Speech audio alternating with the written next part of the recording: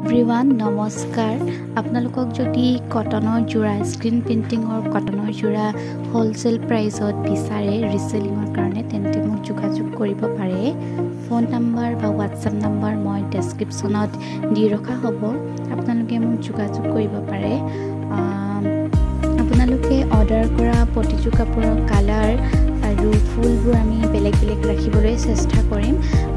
এযোৰ দুযোৰ ল'লে আমি হ'লচেল প্ৰাইজত দিয়া ছয় সাতযোৰমান অৰ্ডাৰ কৰিব লাগিব আৰু এনেকৈ আমি অৰ্ডাৰ পঠাইছোঁ।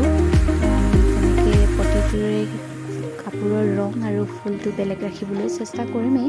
তো আপোনালোকে যদি বিচাৰে অৰ্ডাৰ কৰিবলৈ ৰিচেলিঙৰ কাৰণে তেন্তে আমাক যোগাযোগ কৰিব পাৰে।